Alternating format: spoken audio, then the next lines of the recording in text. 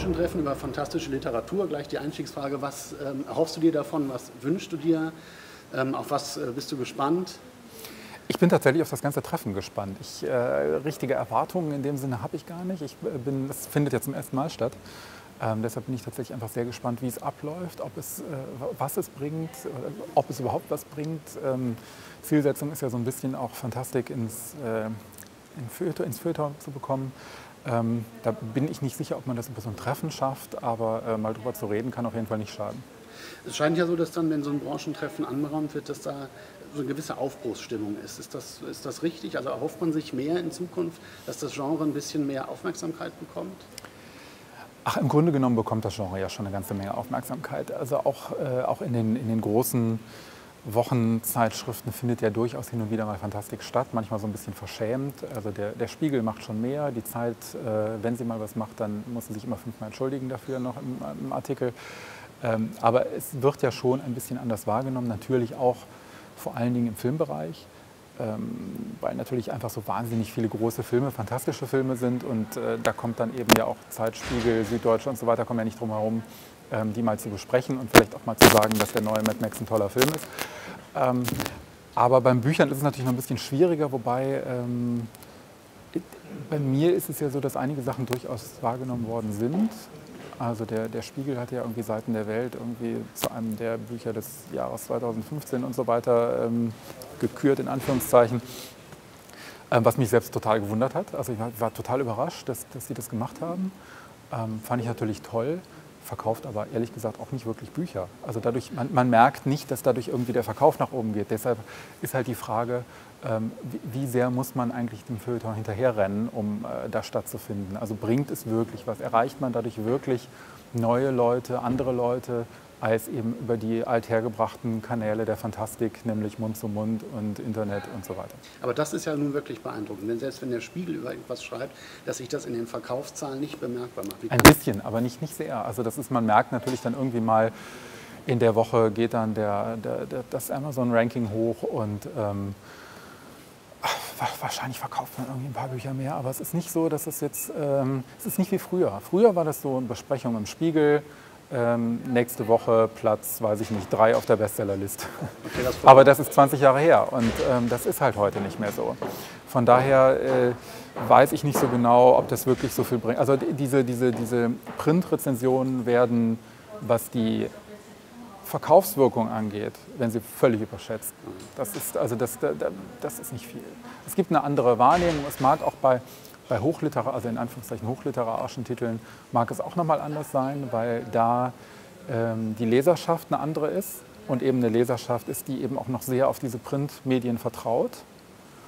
Ähm, da mag es sein, dass also wenn da ähm, der Turm oder was auch immer damals äh, besprochen wurde, dass das plötzlich Riesenbestseller werden. Also die werden schon durch, dieses, durch, durch, durch Feuilleton-Berichterstattung gepusht.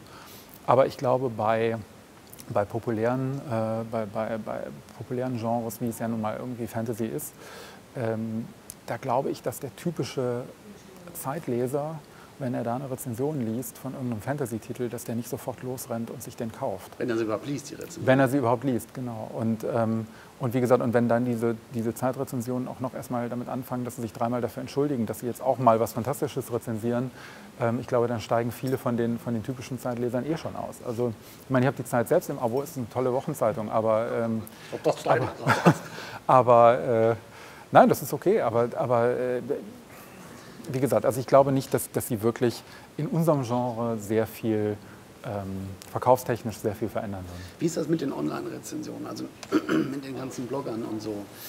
Ist Verkaufen das, nichts. muss, man, muss man leider, leider so krass sagen. Ähm, ich mag die Blogger sehr und ähm, freue mich, wenn, wenn die meine Bücher besprechen.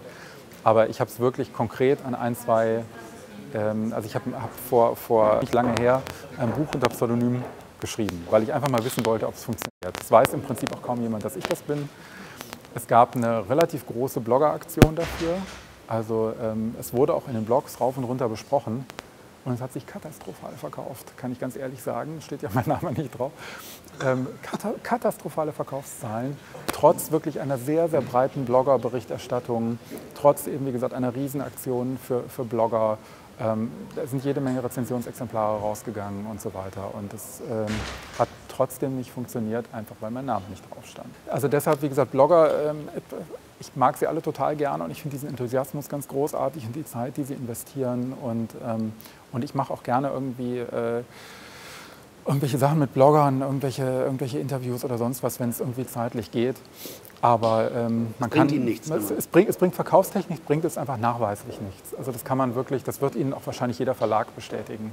Die Verlage, die Verlage machen natürlich schon was mit Bloggern, wobei sie da natürlich auch, glaube ich, mittlerweile ein bisschen vorsichtiger sind, weil es natürlich irrsinnig viele Blogger mittlerweile gibt, die, die ähm, das muss man leider ja auch sagen, die einfach nur Rezensionsexemplare abfassen wollen. Also ich weiß nicht, wie viele Anfragen ich in der Woche oder im Monat bekomme von von 15-Jährigen, die sagen, übrigens, ich habe jetzt ein tolles, äh, einen tollen Bücherblog und ähm, können Sie mir nicht mal irgendwie ganz viele Rezensionsexemplare schicken? Also erstmal verschicke ich die nicht, sondern der Verlag. Das ist schon mal die falsche Herangehensweise.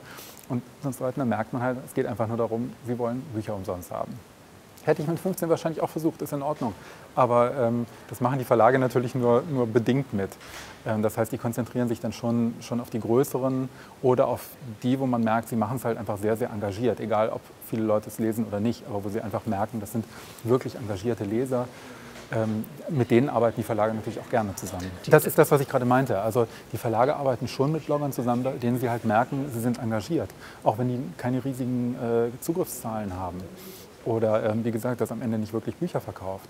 Aber wenn sie, wenn sie merken, das ist jemand, der, der das mit viel Engagement macht, der auch dann gute Rezensionen schreibt und, ähm, und, und wo es auch so einen gewissen es muss ja nicht professionell sein, aber eben doch, wo, wo das Bemühen deutlich ist, dass es, dass es doch so professionell wie möglich ist.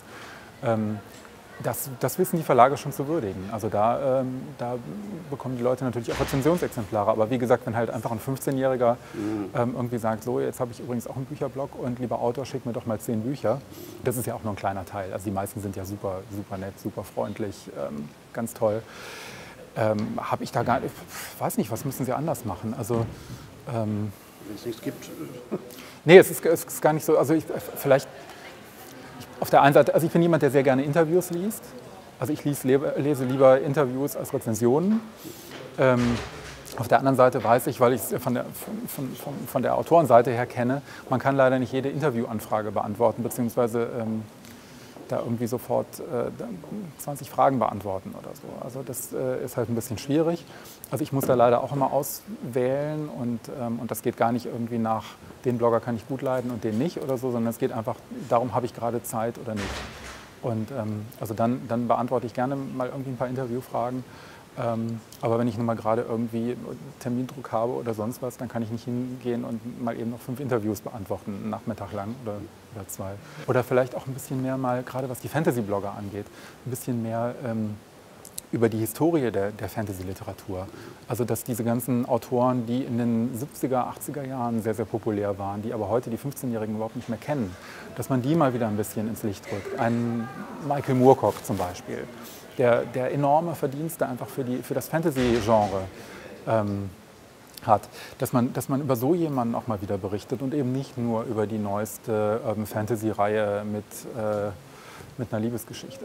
Das heißt, Ihnen ist auch die, Quant die Qualität wichtiger als äh, die Reichweite oder so, weil ich glaube, das ist vieles, ja. was ja. 15-Jährige dann zum Beispiel Definitiv, weil nämlich auch, ähm, ich möchte ja gerne das auch verlinken. Also ich bin ja froh, wenn, ich ein, wenn, wenn, wenn, wenn wir hier ein Video-Interview machen und, ähm, und, und, und, das ist nachher gut, dann, dann, verbreite ich das ja auch gerne über meine, meine Social-Media-Kanäle.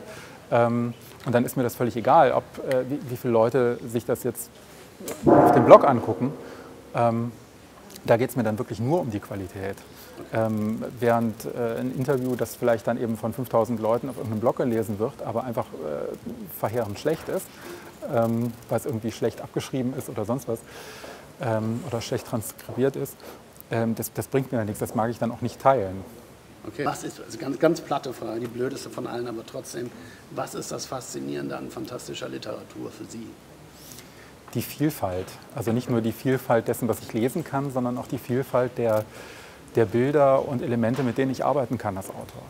Ähm, mein Standardvergleich ist immer der mit, der mit der Malerpalette. Also es gibt halt die Autoren, die mit ein paar Farben arbeiten und es gibt eben die Fantastikautoren, die mit ganz, ganz vielen Farben arbeiten und eben sogar noch Farben dazu erfinden oder dazu mischen.